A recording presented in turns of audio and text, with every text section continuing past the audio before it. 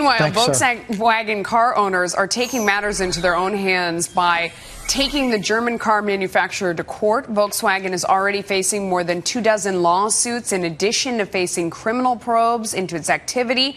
Here to weigh in is Gary Gastelu, Fox Car Report editor David Dietze is Point View Wealth Management president, and joining is Dan Henninger as well. Um, thanks to all three of you for joining us. Okay, so I think everybody in the audience was probably thinking the same thing as they were listening to that report that all of a sudden the cars that are out there that are broken and are getting the good fuel mileage and maybe polluting the environment a little bit more uh, are worth more.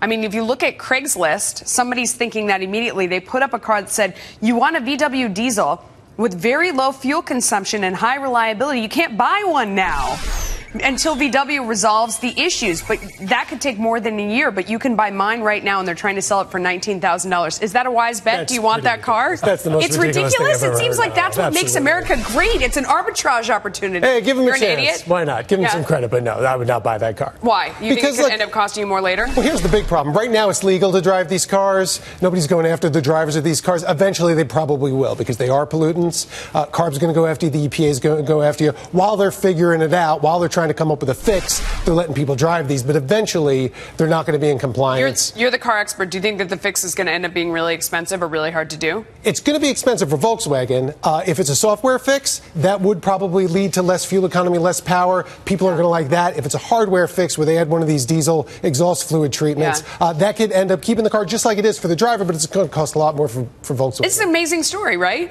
I mean, it's it's it's very bad for Volkswagen in a way that we haven't seen in a long time.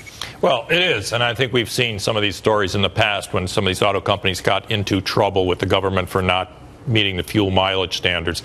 I mean, there is a point at which I think the regulators have to come up and take some responsibility here. I mean, they set these standards that they more or less establish in the lab, and then they expect a car like Volkswagen with a diesel engine, which is emitting both carbon monoxide and NOx, another form of pollutant, at the same time, and they're supposed to get them in balance and hit those fuel mileage standards. Yeah. VW cheated, but the Okay. question is, are they regu- realistic standards? Hang on, real quick. I- I- Do you think that I mean, stock's getting hammered? Is it a buy or does it have a long way to go? Depends what your time horizon is. Certainly, it's lost about 60 billion in market cap. That exceeds what most estimates are. It's going to take longer. It's going to cost more. But ultimately, we have seen the Toyotas and the GMs and other companies come back from these problems. Okay. Meanwhile, Tesla gearing up for a long awaited launch this evening. Fans and investors have waited three years for the launch of Tesla's electric SUV. It is the Model X. It was first announced back in 2012.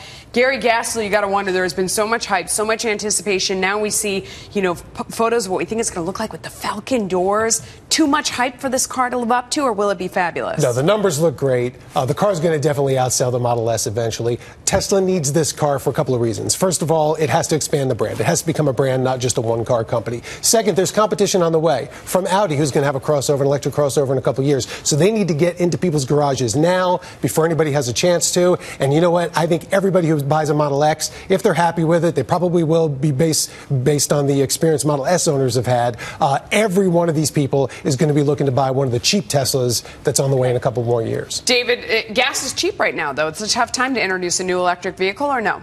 Well, so far, Tesla hasn't really been affected by that. That's not why a Tesla owner buys a car to save on gas. But nevertheless, it is interesting that we have this barbell of two stories. One, the overhyped car company, the other car company that can do no right.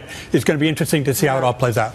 Dan, Correct me think? if I'm wrong, but I don't think any of this works without that 7,500 per car subsidy that an electric car gets, plus the $2,500 No, that they get he in just California. Said that these people don't care about the price of the car because they don't care about the price of gas. I mean, if you look at the price point on this car, it's really high. These are rich people the California who want a status well, Tesla. The and they don't California Air what it costs. Resources Board (CARB) has just put a cap on the amount of uh, rebate that uh, wealthy people can get because they're trying to push ownership down to a lower level. The people at that level haven't been buying these cars. I don't Oh think. yeah, no, no. It's everybody in Palo Alto that wants to drive their Tesla around and show off. Yeah, you're all nodding. And, anyway, not- and use the HOV lanes. yes, right.